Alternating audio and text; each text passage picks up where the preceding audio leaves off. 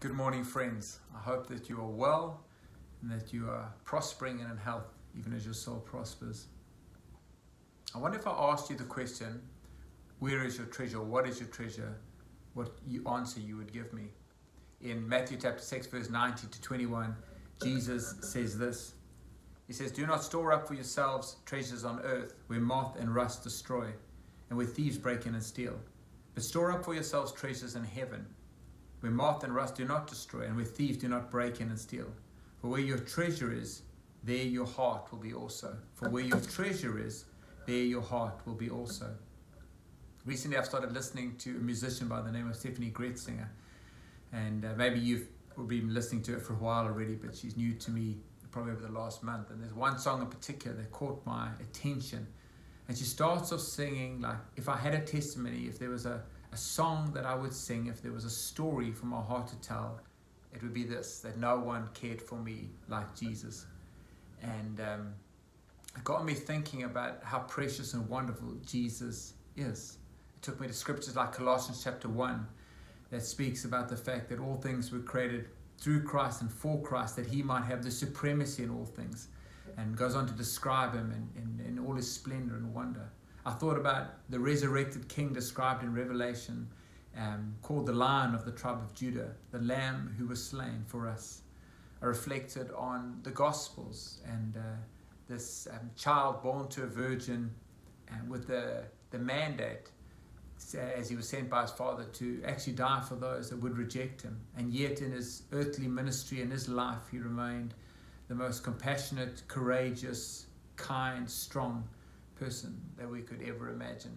And uh, every single one of us can put ourselves in the shoes of the sinful woman or Zacchaeus in the tree or whatever it is and know that we too would have been accepted by Christ even if we were cast out by everybody else.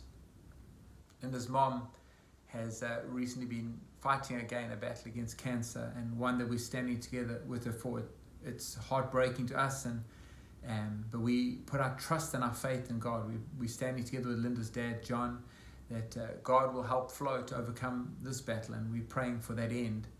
But while I was listening to the song a couple of weeks ago, I sent it to her because there's, there's a couple of lines in it that just struck me as to the lines that every Christian should hold on to.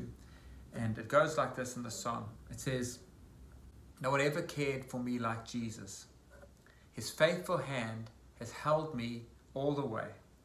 When I'm old and grey and all my days are numbered on the earth, let it be known, in you alone my joy was found.